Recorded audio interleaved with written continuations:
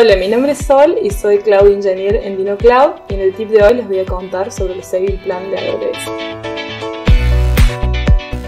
Los Saving Plan de AWS es una forma efectiva de ahorrar en el uso de EC2, Lambda y Fargate a cambio de un compromiso de uso de cómputo durante un periodo determinado. Este periodo puede ser de 1 o 3 años.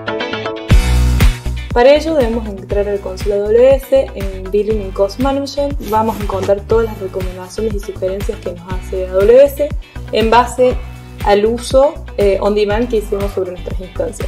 Allí vamos a poder personalizar estas recomendaciones eh, alterando ciertos parámetros como el tipo de plan, el tipo de pago y la duración del mismo pero si queremos hacer un plan totalmente customizable, es decir, cambiar el monto de compromiso, podemos comprar un saving plan y también especificar todos estos parámetros, como mencioné recién, el tipo, eh, la forma de pago, que puede ser eh, no upfront, donde vamos a pagar mensualmente, partial upfront, donde adelantamos una parte del pago y el resto mensual, o all upfront, donde hacemos todo un pago por adelantado y vamos a obtener el mayor descuento.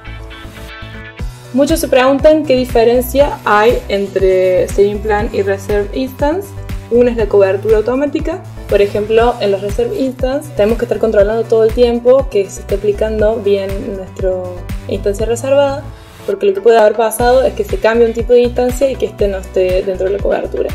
Pero esto en los saving plans eh, no sucede ya que la cobertura es automática y podemos modificar la, instancia según el tipo de plan que hayamos utilizado y se va a efectuar en segundo plano automáticamente.